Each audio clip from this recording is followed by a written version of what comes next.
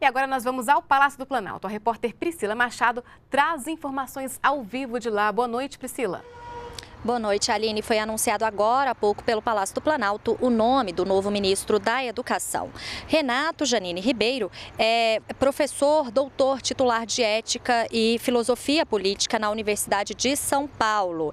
Ele é autor de 18 livros de filosofia política é, sobre cultura e sociedade brasileira, além de ensaios e publicações científicas. Ele foi presidente da Comissão de Cooperação Internacional da Universidade de São Paulo, também membro membro do Conselho Deliberativo do CNPq. Em 1998, ele foi condecorado com a Ordem Nacional do Mérito Científico. A posse do novo ministro da Educação será no dia 6 de abril.